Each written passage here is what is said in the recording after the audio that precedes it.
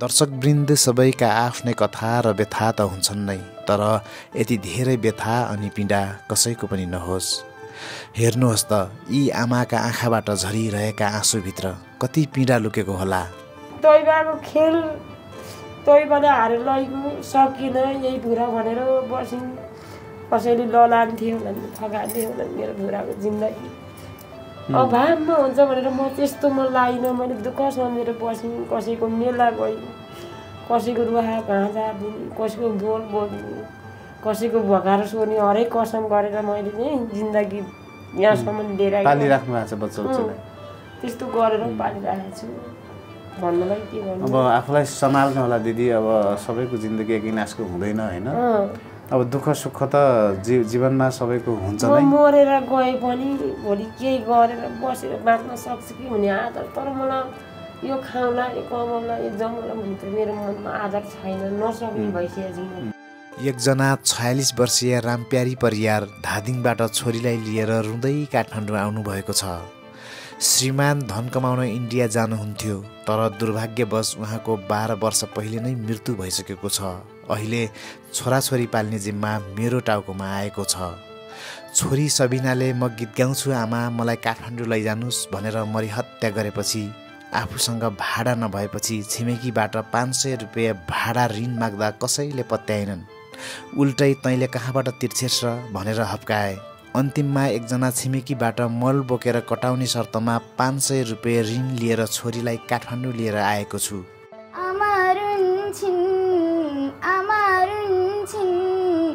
सम्झी तिमीलाई हे मेरा बाबा हो। सकिएन बिर्सनलाई कसो गरिने आउँदो रहेछ यादा बाबा घरि घरि नि सकिएन बिर्सनलाई कसो गरिने दर्शकवृन्द यति बेला म काठमाडौँमा छु र म मलाई फोन गरेर म गीत गाउँछु मलाई पनि चाहिँ तपाईँको भिडियोमा देखाउनु पऱ्यो भन्दै एकजना बहिनी धादिङबाट आउनुभएको छ र मेरो रुममै आउनुभएको छ र आजको भिडियोमा उहाँ उहाँ धादिङकी बहिनीको चाहिँ एक दुईवटा गीतहरू हामी सुन्नेछौँ र उहाँको जीवनको स्टोरी पनि हामी जोड्नेछौँ र धादिङबाट यता आइसके आइसकेपछि उहाँ उहाँको चाहिँ पछाडि केही न केही स्टोरी त छ कथा व्यथा त छ जीवनको। त्यो कुराहरू पनि हामी खुलाउने नै छौँ। भिडियो चाहिँ अन्तिमसम्म हेरेर मात्रै प्रतिक्रिया दिनुहोला भन्न चाहन्छु। नमस्ते। हजुरको नाम के हो दिदी?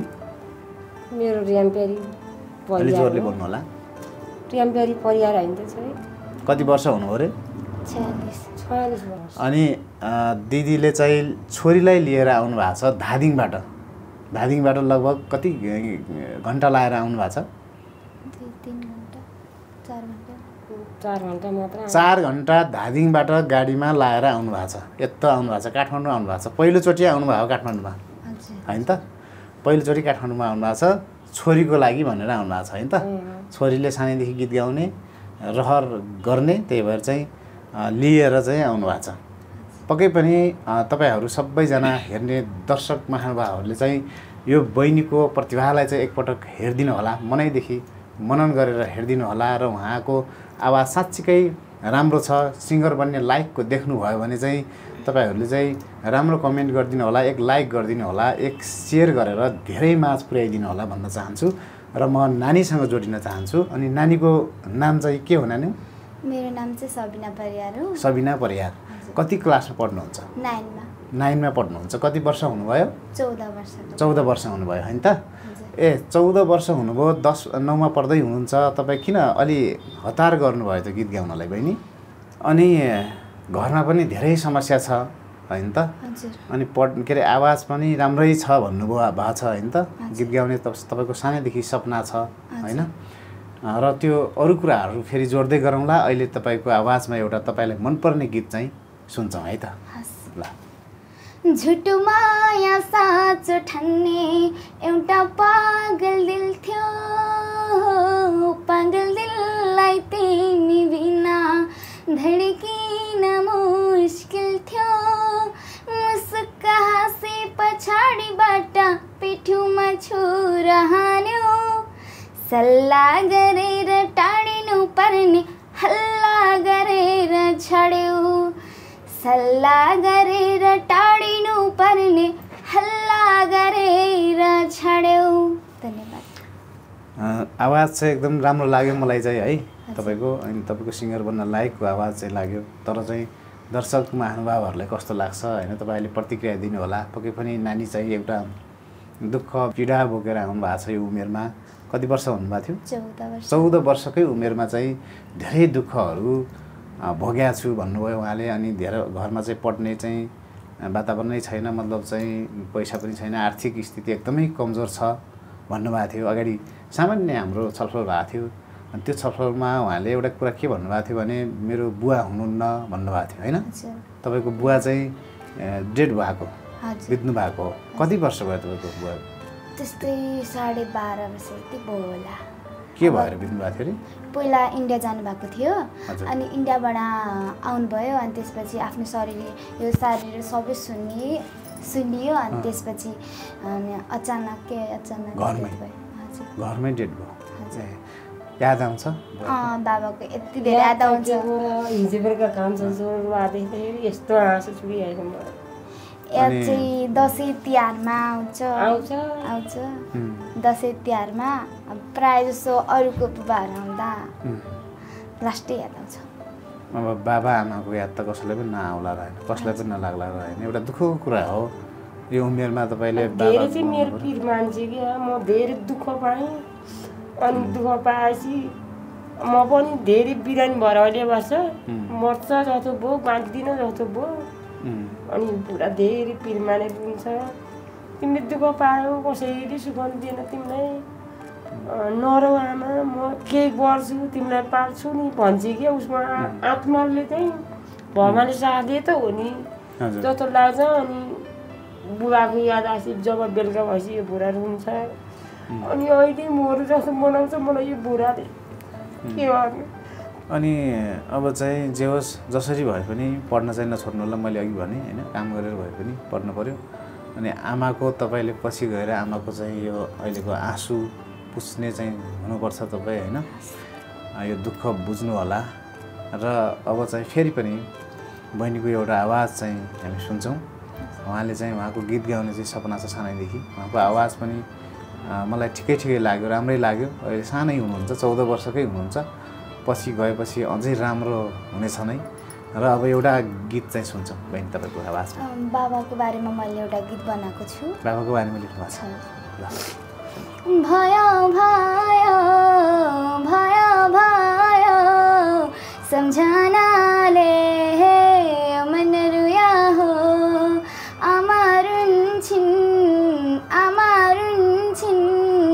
सम्झी तिमीलाई। हे मेरा बाबा हो। सकिएन बिर्सनलाई कसो गरिने। आउँदो रहेछ याद बाबा घरि घरि नि सकिएन बिर्सनलाई कसो गरिने। आउँदो रहेछ याद बाबा घरि घरि नि भयो भयो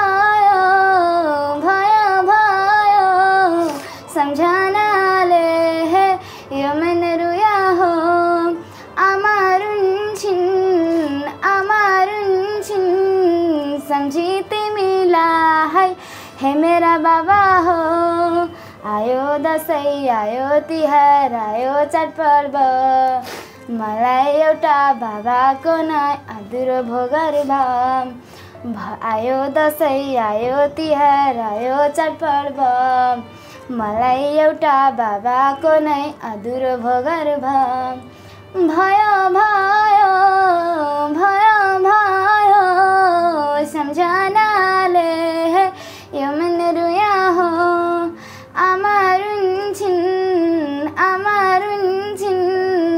सम्झी तिमीलाई हे मेरा बाबा हो आमारुन् छिन् आमारुन् छिन् सम्झी तिमीलाई हे मेरा बाबा हो यति भन्नुपर्छ। आवाज मिठो लाग्यो र अर्को कुरा चाहिँ धेरै दुःख रहेछ यो नानीको दिदीको चाहिँ परिवारमा।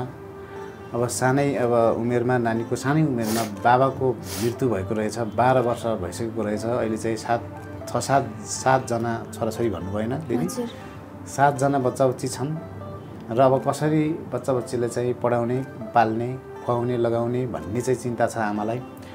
यो भिडियो हेरेर कतिपय दर्शक महानुभावहरूको चाहिँ सहयोगको भाव आउँछ कतै मनमा भने सहयोग गर्न चाहनुहुन्छ भने मैले चाहिँ स्क्रिनमा यो भिडियो स्क्रिनमा चाहिँ उहाँहरूको कन्ट्याक्ट नम्बर राखिदिनेछु र डाइरेक्ट कन्ट्याक्ट गरेर सहयोग गर्न सक्नु सक्नुहुनेछ र मलाई डाइरेक्ट सम्पर्क गर्न सक्नु हुने पनि छ र यो खर्च पर्छ तेल। किन्ने चामल किन्ने पैसा चाहिँ कसरी जुटाइराख्नु भएको छ आमा? त्यो मेला झुन्नी अस्ति दुई दिन तिन दिन छोरीहरू मेला गएको थिएँ। हजुर। अनि हजार पन्ध्र सय पैसा लिएर आएको थिएँ। आधी बोरा चामल लिएर अनि अलिकति मकै थियो त्यो पिनी। ल्याएर यता त्यता गरेर चार पाँच दिन खायो। फेरि छोरी के गर्ने त? अब दुःख गर्ने जाने कि के गर्ने? भने पख पख दुई चार दिन पख न। म जाउँ त्यहाँ। अनि म त्यति काम गर्छु। अनि म पढ्न गएपछि अनि तिमी तिम्रो सुरले काम गर भने अनि यसले त्यति तनाव दिए मलाई। अनि उसको सुरले ल जाउँ भनेर अनि मैले एउटा बाहुनीबाट मोल बोधुङलाई बरु दिदी मलाई पाँच सय पैसा ल्याउनु न छोरी यस्तो ठाउँ जान्छु भन्छ भनी अनि दिन तिमीहरूलाई जति दिन नहुने सधैँ दुखी साउले त्यही भन्ने त हो नि। सधैँ दुखी सधैँ दुःख देखाउँछौ अनि आफ्नो दुःखदेखि कोही छैन भनेर वचन लाएर दिन पाँच सय त्यसो नभनौँ दिदी मल बोदिउँला म काम गरिदिउँला छोरीले रहर गरिहाली तैपनि मेरो भगवान्ले साथ दिन्छन् कि भनेर अनि आइदियो अनि अर्को कुरा दिदी जब तपाईँको श्रीमान हुनुहुन्थ्यो त्यति बेला श्रीमानले कमाउनुहुन्थ्यो। इन्डिया गएर कमाएर आउनुहुन्थ्यो होइन? एक दिन मेला पठाउँदैन थिएँ मलाई। जिन्दगीमा मैले दुःख पाउनु पाउनु यदि भोग्नु पऱ्यो थियो एक दिन मेला जा भन्दैन थिएँ। सबैजना मासु ल्याउँथे। मेरो छोरी मासु ल्याउनु मलाई मासुको भाव पनि लाउँदैन थियो मेरो देवर देखाजुले चक्लेट ल्याएर पोल्टामा चक्लेट ल्याएर फकाएर घर लिएर आउँथेँ। मैले कति दुःख पाछु पनि मेरो छोरीको लागि। मैले त्यसो गर्दा पनि मैले लामो कसैको मैले कसैलाई नराम्रो बोलिनँ मेरो दुःख सम्झेर खाएँ। मैले कति दिन भोगेको छु।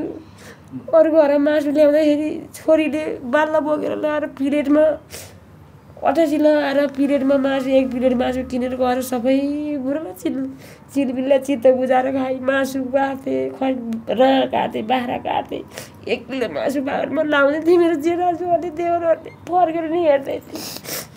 दर्शकवृन्द हेर्नुहोस् त एउटा पीडा भित्र कति पीडा मनभित्र कति पीडा छ भन्ने कुरा उहाँ दिदीलाई मात्रै थाहा छ एउटा भोगेको मान्छे मात्रलाई मात्र थाहा हुन्छ एउटा श्रीमान गुमाउनुको पीडा श्रीमान गुमाएको एउटा विधवा महिलालाई मात्रै थाहा हुन्छ।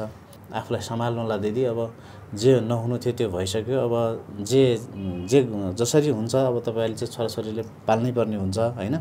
र अहिले काठमाडौँ आउनुभएको छ छोरीको लागि छोरीको इच्छा पुरा गर्नको लागि।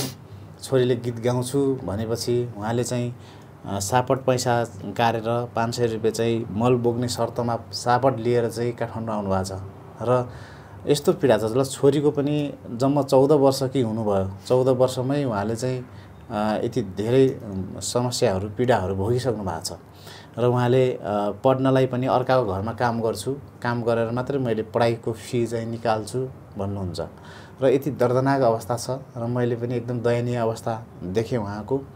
यो अवस्था देखेर र त्यही भएर ठिकै छ म एउटा भिडियो बनाइदिन्छु। अब कुनै न कुनै अब दर्शक महानुभावहरूले चाहिँ तपाईँहरूप्रति चाहिँ माया स्नेह सद्भाव त्यस्तो खालको देखाउनु भयो भने सहयोगको भाव देखाउनु भयो भने गर्नुहुन्छ कि भन्ने आशाले पनि मैले यो भिडियो बनाइराखेको छु। र तपाईँहरू यो भिडियो हेर्ने सम्पूर्ण दर्शक महानुभावहरूले को मनमा कतै न कतै सहयोग गर्ने भाव भावना त्यस्तो आउँछ भने प्लिज सहयोग गर्नुहोला। भन्न चाहन्छु। म कन्ट्याक्ट नम्बर उहाँहरूको यो भिडियो स्क्रिनमा चाहिँ राखिदिनेछु। र अर्को कुरा अरू मान्छेहरूले यदि सहयोग गर्न सक्नुहुन्न भने यो भिडियोलाई एक लाइक र एक सेयर गरेर धेरै माझ पुर्याइदिनु हुन अनुरोध गर्न चाहन्छु।